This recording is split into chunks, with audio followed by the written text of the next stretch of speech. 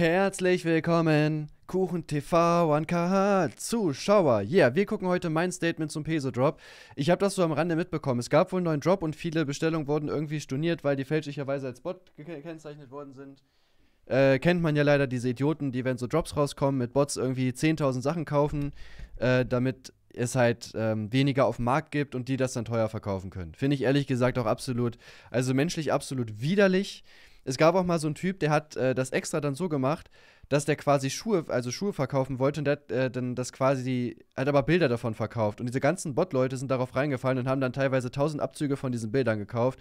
Ähm, leider hat er dann teilweise denen auch äh, das Geld zurückerstattet, weil ich hätte gesagt, Digga, fick dich. So, selber schuld. Peace Leute willkommen zu einem weiteren Video von mir. Ja, das hier ist Boah, Digga, wie schick ist das denn da? wahrscheinlich schon denken könnt, ein super spontanes Video. Ich weiß noch nicht, ob ich das jetzt direkt heute hochladen werde oder äh, morgen. Das ist auch nicht nur ein Statement, sondern eher ja, ein Video, wo ich einfach eure Meinung wissen will, weil ich zusammen mit euch eine Lösung finde. Ich ja, keine Ahnung, also kennt ihr dieses Gefühl, wenn ihr als Kind irgendwie Scheiße gebaut habt oder so und dann habt ihr so ein unangenehmes Gefühl im Magen und wisst nicht so, was ihr machen wollt? Ja, ich Genau, finde, Justin sollte nicht Oversize tragen irgendwie. Meine Meinung. habe ich jetzt gerade auch, seit langem mal wieder. Ähm, und dabei Ein bisschen leiser. hätte es ich eigentlich auch einfach sein können und ich will es eigentlich auch nur allen Leuten recht machen und äh, ja, also ich hätte auch nicht gedacht, dass ich jemals so ein Video machen muss oder gedacht, dass ich nochmal ein Statement zu Peso oder so machen muss, weil ich mir dachte, dass halt eigentlich jetzt alles funktionieren würde. Ist jetzt leider nicht der Fall. Ich erkläre euch erstmal Grund auf meine Situation, versucht bitte mich zu verstehen und bleibt bitte auch bis zum Ende dran, weil ich sage halt wichtige Sachen und möchte mit euch auch so über die Zukunft reden und auch eure Meinung wissen. Deswegen schreibt mir bitte konstruktive Kritik in die Kommentare. Erstmal Stimmt, möchte ich bei so- Leuten entschuldigen, Er hat einfach in dem Raum, was man sieht, einfach nur ein Sofa und das war's.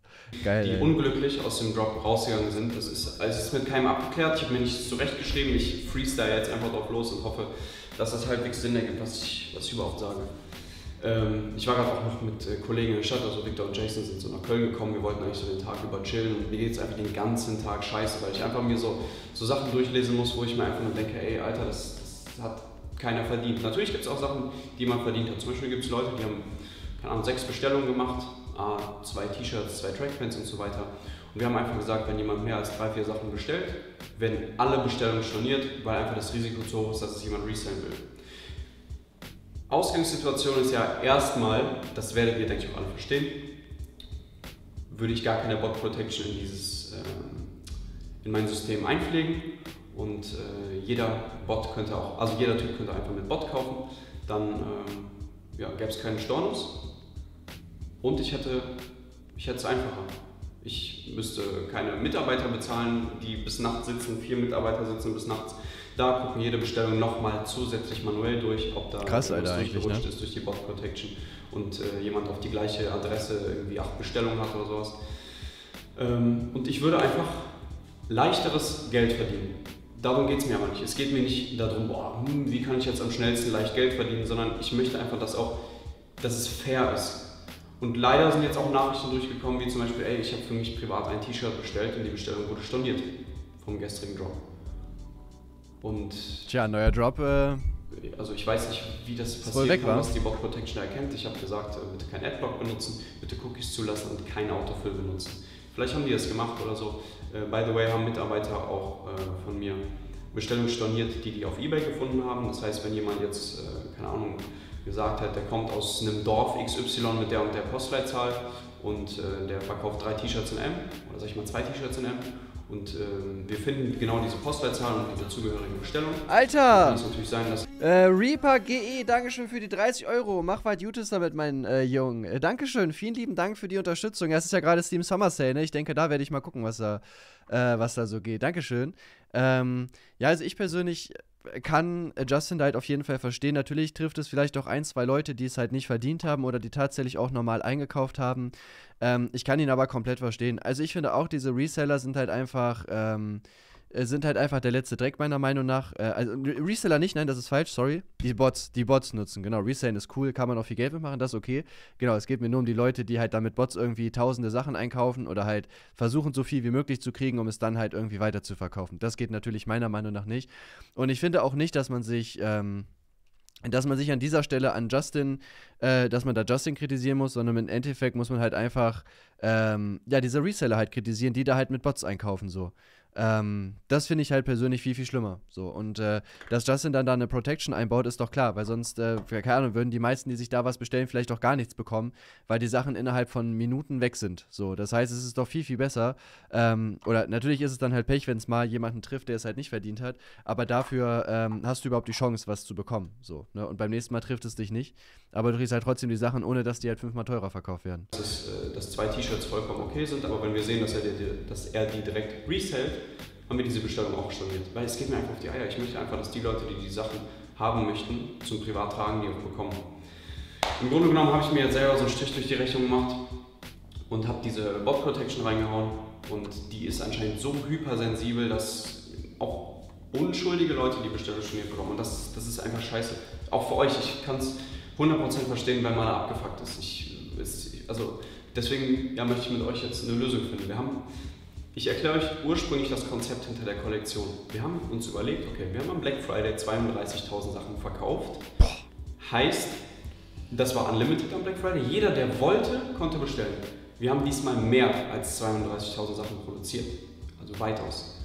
Haben uns gedacht, lass es vielleicht mal so machen, dass es nicht sold out geht, vielleicht direkt, sondern wir über die Woche sehen, was so an Tagesgeschäft reinkommt. Wie das so ist, wenn Peso länger zu kaufen ist. Im Grunde genommen kann 32.000 Stücke an einem Tag zu verkaufen, ist schon relativ heftig. Ne? Vor allem das, was die, also ich glaube, die Sachen kosten ja so 60 bis 80 Euro, glaube ich, im Durchschnitt. Wenn du mal so überlegst, keine Ahnung, 70 Euro mal 32.000, kommt schon mal ganz gut was bei rum. Ich mich jetzt nicht darüber freuen, dass es nicht so war. Äh, wir hatten so viele Sachen und die waren trotzdem direkt sold out. Leute sitzen acht Minuten in der Warteschlange und bekommen dann nichts weil einfach alle Leute in der Warteschlange sind von PayPal und ich, ich weiß nicht, was ich noch tun kann. Ich erhöhe jedes Mal die Stückzahlen und jetzt haben wir die so drastisch erhöht, sogar noch höher als beim letzten Black Friday, wo jeder, der was wollte, das bekommen hat. Was, was soll ich da noch machen?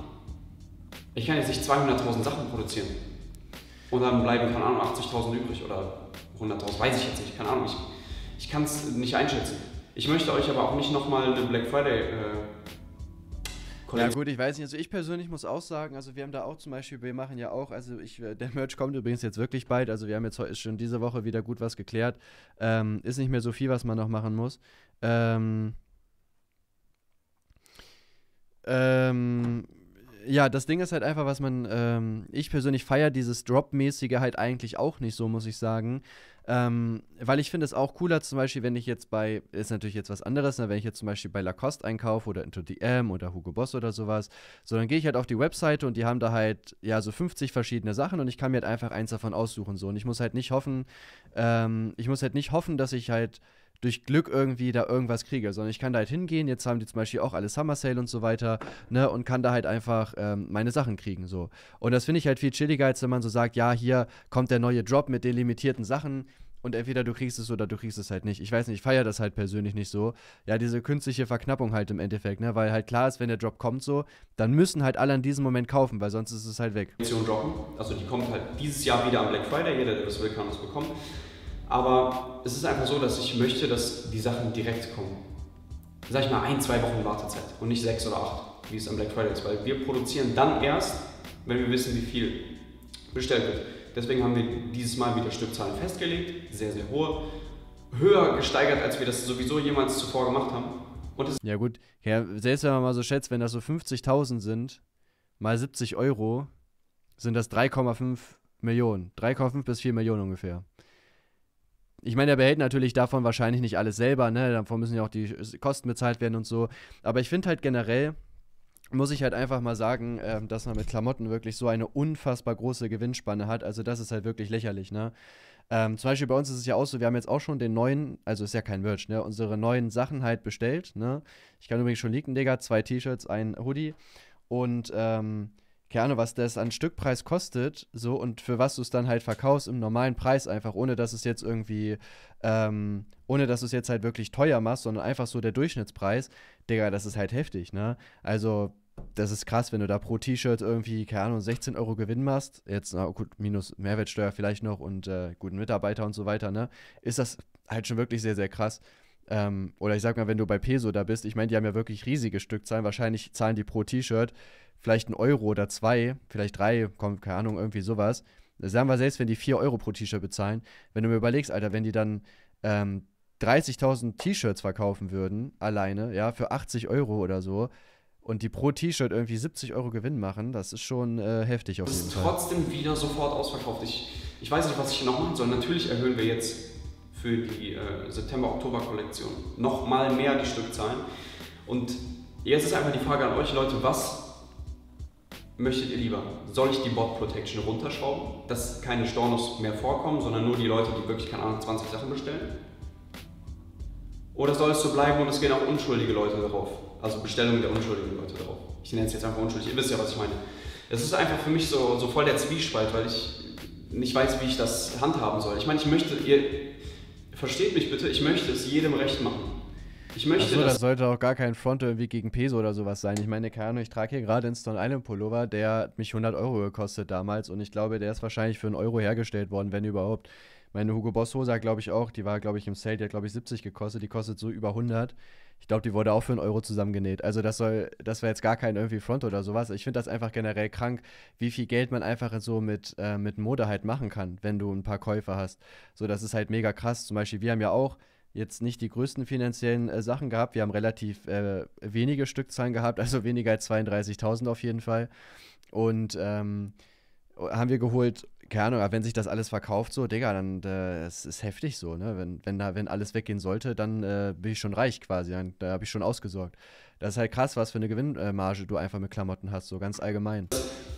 Jeder happy ist und, also außer die Reseller. So, für mich ist natürlich weniger kopfig und leichter verdientes Geld, wenn ich einfach keine Bot Protection habe. Ich drehe mich jetzt hier im Kreis mit den Aussagen. Ich denke, jeder wird verstehen, was ich meine. Nur ähm, ich weiß nicht, was ich machen soll. Wir haben ja, keine Ahnung, also kann natürlich schon sein, dass die Peso-Sachen eine bessere Qualität haben, dann wurden, wurde T-Shirt vielleicht für 6 Euro hergestellt oder sowas. Ich sag mal, aber mit den Stückzahlen geht das, ich meine, wenn du, wenn du sagen wir 10.000 T-Shirts von irgendwas holst, dann ist klar, dass der Stückpreis halt mega gering ist, so, ne? Ähm, das ist halt immer so, ne? Ja, nur bei mir, also ich glaube schon, dass das eine gute Qualität ist, jetzt aber mal so zum Vergleich, zum Beispiel, ich hole mir nie wieder Hugo Boss Schuhe, ähm, weil die zwar mega, also schon teuer sind auf jeden Fall, aber die Qualität ist einfach so kacke. So, also, keine Ahnung, das ist halt, da geht immer die Sohle raus. So, du, du läufst damit halt 20 Minuten rum und die Sohle ist einfach locker und fällt raus. So, oder ich habe mir zum Beispiel auch eine Hose geholt, ähm, letztes Jahr im Sommer, und da ist einfach dann, ähm, wo dieser Gummizug rauskommt, womit du es halt zumachen kannst, ähm, ist einfach rausgegangen. Und wenn ich halt immer die Hose zugemacht habe, dann ist irgendwann einfach der Stoff da kaputt gegangen. Das heißt, so, da, wo normalerweise der Gürtel ist, ist jetzt so ein 5, äh, 10 Zentimeter langes, äh, langer Riss in der Naht drin, so, wo ich mir auch so denke, Junge, ich habe die Hose jetzt ein Jahr getragen, so, und die geht direkt so kaputt. Ne, und ja, das wollte ich, äh, deswegen, also, aber ich glaube schon natürlich, dass äh, Peso, ich habe noch nie einen Teil von Peso tatsächlich angehabt, aber ich habe schon öfter auf jeden Fall gehört, dass sie eine ziemlich gute Qualität haben. Ich glaube, 8000 Bestellungen storniert. Einfach weil das, weil diese Leute 20 T-Shirts oder so bestellt haben. Dann posten Leute äh, Storno-Mails, fünf Stück. Ja, zu Recht. Du hast fünf Bestellungen gemacht. Es kann ja sein, dass er fünf Pieces für sich wollte. Aber für uns ist dieses Resale-Risiko einfach zu hoch. Und ich, man kann auch nicht, also man kann den Warenkorb beschränken. Ja, irgendwann kommt da bestimmt Peso bei diesem Aber dann bestellt ein Bot, ein Bot bestellt einfach mehrmals, packt das sich alles in eine Bestellung und äh, hat das dann umgangen. Das ist, es gibt einfach nicht so eine faire Lösung. Deswegen bitte Leute, schreibt mir gerne, eure Vorschläge in die Kommentare, wie ich das in der Zukunft handhaben soll. Ja, das ist echt schwierig eigentlich. Ich, mein, so mein Vorschlag ist einfach in der nächsten Kollektion, keine Ahnung, so Stückzahl nochmal noch mal zu verdoppeln. Ich würde es halt, also ich persönlich würde das einfach so machen, dass ich das halt nicht limitieren würde, sondern du kannst ja quasi den Drop rausbringen so. Und keine Ahnung, sagen wir mal, der, der bringt einen Drop raus und insgesamt hast du 100.000 Sachen davon. So, ähm, also du hast 100.000 Pieces, so. Und die bietest du im Shop an und wenn die weg sind, dann kannst du immer noch bestellen, aber hast halt eine längere Lieferzeit. Was weiß ich, je nachdem, wie viele Leute das halt noch bestellen. Ja, also dass du es quasi nachproduzieren lässt nach Bestellung so. Ne? Ich glaube, bei Black Friday hat man bestimmt auch ein paar Wochen warten müssen, bis halt die Sachen da sind. Ähm, und ähm, genau, sowas würde ich das machen. Weißt du, dass man einfach immer Sachen da hat oder dass man generell einfach so von allen möglichen Kollektionen, die halt rausgekommen sind, einfach nochmal was nachproduzieren lässt. So, das müssen ja keine 30.000 sein. So, wenn du von jedem Shirt, von jedem Pullover nochmal, keine Ahnung, 1000 nachproduzieren lässt oder 2000 oder sowas, ähm, klar ist das halt eine Menge, aber davon verkaufen sich ja auch mega viele. So, und dann hättest du halt, äh, dann hättest du halt das Problem mit den Bots einfach nicht mehr, ne? Weil dann kann sich halt jeder, der möchte, diese Sachen einfach nachbestellen. Oder man bietet einfach generell an, dass man äh, vielleicht zwei, drei, viermal im Jahr die Möglichkeit hat, äh, von allen Kollektionen einfach was nachzubestellen. Ähm, und wenn es halt genug Bestellungen gibt, dann wird halt produziert. Wenn jetzt fünf Leute ein T-Shirt bestellen, dann brauchst du das nicht nachproduzieren. Aber wenn jetzt 5000 Leute irgendwie den, den einen Hoodie haben wollen, dann kannst du das ja nochmal holen. So.